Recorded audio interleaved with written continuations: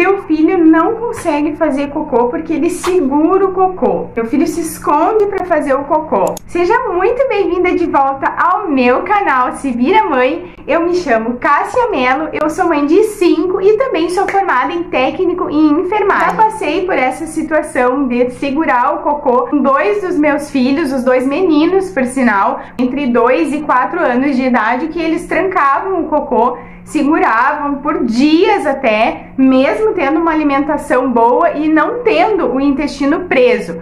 Acontece porque em algum momento, assim como o xixi, às vezes a criança segura, porque ela tá brincando, ela tá fazendo outra coisa e ela segura o cocô, segura o xixi. E quanto mais tempo a criança segura o cocô, mais ressecado ele vai ficar. O organismo vai retirando a água daquelas fezes da criança e aí, quando ela vai evacuar, se torna umas fezes muito endurecidas. Ela tem que fazer muita força. Não sai lisinho, ela tem que fazer muita força para conseguir fazer e às vezes dói até sangra. E aí a gente entra em desespero. A primeira coisa, nunca jamais dê para teu filho chá de sene, que é um laxativo. Eu vejo em vários grupos várias pessoas falando do chá de sene. Por favor, não faça isso, porque o sene, ele é um laxante muito forte, até para um adulto.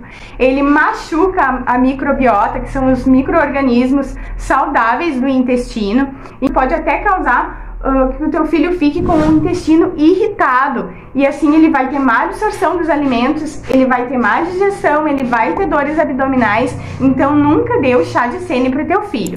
A segunda coisa é que quando a criança faz isso de se esconder, ficar trancando o cocô, às vezes a gente perde a paciência.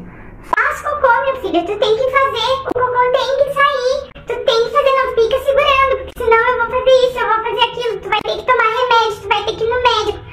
Esse terror na cabeça da criança, claro que não é por mal que a gente faz isso, mas é no desespero de ver o negócio acontecer. Eu entendo e eu já passei por isso também. Mas não faça isso. Abrace o teu filho no vaso, no piniquinho, diz que ele é forte, que ele vai conseguir, que o cocô tem que ir para casa dele e que vai ficar tudo bem. Isso tu vai ter que repetir inúmeras vezes, às vezes por meses, às vezes por dias, às vezes por até mais de um ano, que a criança fica com isso. E isso se torna um ciclo vicioso, porque automaticamente, quando ah, o organismo dela sente a vontade de evacuar, mas ele automaticamente se lembra que ele sentiu dor e que aquilo foi desconfortável, que ele chorou, ele vai segurar por mais que não precise que o organismo dele esteja funcionando bem. Eu observei que o organismo dele estava funcionando bem, porque ele fazia num dia, no outro dia, reloginho, ia fazer novamente e ele ficava trancando. É bem importante salientar que às vezes não é só questão de alimentação da criança.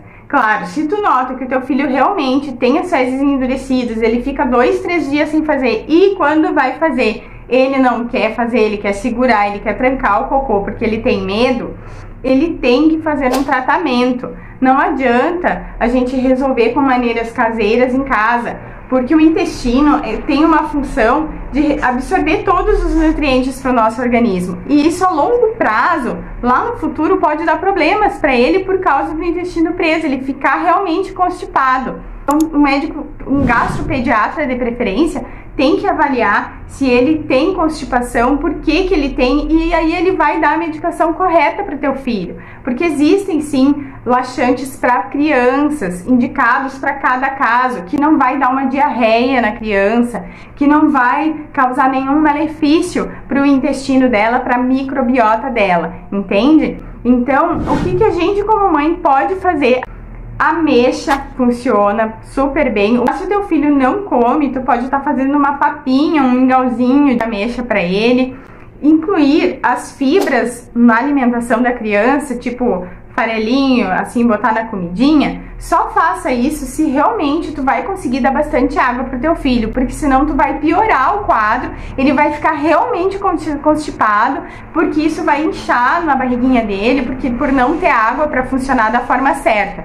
Então não adianta dar aveia para criança, fibra, se ele não toma a quantidade adequada de água. Isso não é muito fácil, mas é o que tem que ser feito. E o que, que a gente pode utilizar na criança? Existe um xaropinho de ameixa que não tem gosto ruim, que eu vou deixar aqui, que eu dou pro meu filho também. Quando eu vejo que ele fica dois, três dias sem fazer, eu dou à noite para ele e de manhã em jejum. Pro meu filho de 4 anos eu dou 5 ml. Ele é natural, então ele não vai causar nenhum malefício para a microbiota do intestino dele, não vai piorar a situação. Também existem alguns casos onde tu vê que sangra ou que a criança fica com fissura no ânus, aí sim tu precisa levar ele num gastropediatra, porque tem cremes né, pomadinhas que pode ser passado ali que vai tirar a dor, que vai anestesiar quando ele for fazer o cocôzinho também. Então é importante que procure um gastropediatra, porque normalmente o pediatra não sabe muito bem. Eu mesma fui em pediatra atrás de alguma coisa e ela só me receitou essas coisas. Ah, ele é constipado, ele tem intestino preso, mas eu sabia que ele não tinha o intestino preso, que ele realmente estava segurando as fezes. E algumas vezes eu tive que usar supositório nele, né? E isso causa um trauma na criança, a criança não quer, não gosta, ela entra em pânico. Isso só piora. Usar o supositório na criança só piora. Mas é lógico, tu não vai deixar a criança uma semana né, sem evacuar, sem fazer o cocô, tu vai usar o supositório, até porque se tu for num,